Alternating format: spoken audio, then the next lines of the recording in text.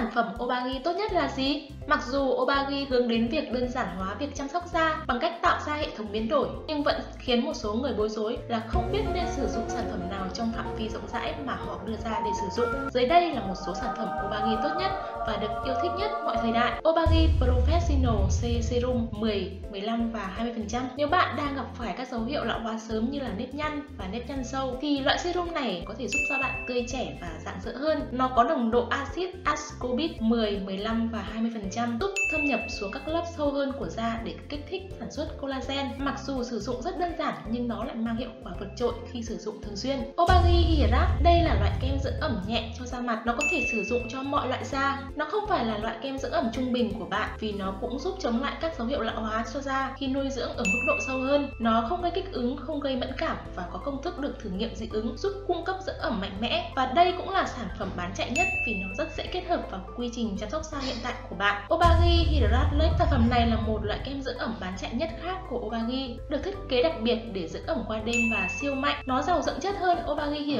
và được coi là một loại kem dưỡng da mặt sang trọng, mang lại cho làn da của bạn cảm giác mềm mại và săn chắc. Vì các thành phần tự nhiên như bơ hạt mỡ, bơ xoài và bơ. Nó có thành phần chính là hydromani, cung cấp độ ẩm tức thì nhưng cũng cung cấp độ ẩm từ từ bằng cách giữ nước trong các lớp da của bạn lên đến 8 giờ. Obagi Master Sunsit SPF 50 Việc chăm sóc da của bạn sẽ không hoàn thành nếu bạn không có một loại kem chống nắng mạnh và đáng tin cậy được kết hợp vào thói quen của mình. Nếu có bất kỳ điều gì khiến da bạn lão hóa nhanh hơn thì đó là việc tiếp xúc thường xuyên và quá mức với tia nắng mặt trời. Lý do tại sao sản phẩm này được yêu thích bởi người dùng chăm sóc da Obagi là bởi vì công thức nhẹ của nó giúp hấp thu nhanh chóng. Nó cũng giúp bảo vệ làn da của bạn khỏi tia UVA, UVB có hại của ánh nắng mặt trời. Đồng thời giúp làn da của bạn trở nên trắng sáng hơn nhờ hàm lượng vitamin C trong đó. Nó không gây nhờn, không chứa paraben, có mùi thơm, có thể sử dụng làm lớp lót trang điểm. Obagi Retinol 1.0 Sản phẩm này là bước cuối cùng nhưng chắc chắn không phải là bước kém hiệu quả nhất trong Obagi 360 PM System. So với các loại retinol khác trên thị trường, Obagi Retinol này không gây kích ứng mặc dù chứa hàm lượng retinol cao. Nó giúp chống lại các dấu hiệu lão hóa sớm do các tác nhân